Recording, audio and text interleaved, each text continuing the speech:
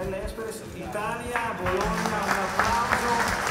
Inaugurato oggi il nuovo gateway DHL Express Italy all'aeroporto di Bologna. Una collaborazione importante, quella tra il Marconi e DHL, iniziata nel 2008, che oggi si consolida con il taglio del nastro di una nuova struttura sulla cui realizzazione Aeroporto di Bologna ha investito 10 milioni di euro per il building, mentre altri 33 milioni di euro sono stati investiti da DHL in tecnologie, impianti, macchinari e mezzi a basso impatto ambientale.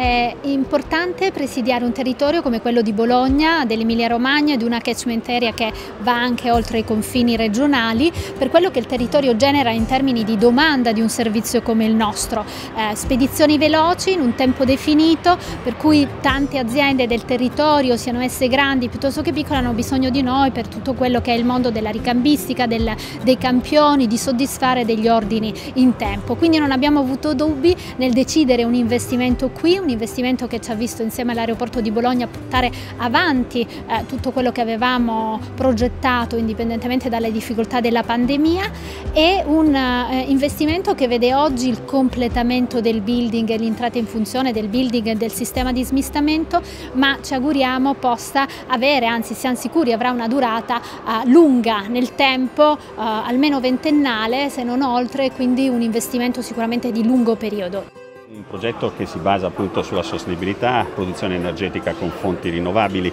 Abbiamo utilizzato anche un materiale come il policarbonato, materiale leggero, riciclabile al 100% che permette alla luce di entrare e quindi anche di diminuire i consumi energetici per l'illuminazione naturale.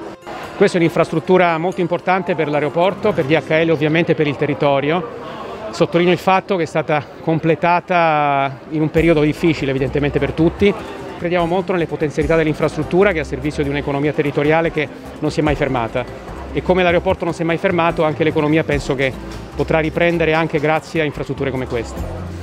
Il primo semestre 2021 siamo il terzo aeroporto italiano per cargo e questo ha accompagnato e, e a sua volta diciamo, è stato influenzato dalla, dalla ripresa dell'export che c'è stata in regione. Il progetto arriva a compimento in un momento straordinario perché si ricomincia in qualche modo e soprattutto eh, la vocazione terziaria di Bologna e del suo aeroporto viene fuori in tutta la sua potenza perché è evidente che investimenti di questo tipo da parte di multinazionali rafforzano il valore di Bologna e la sua posizione straordinaria.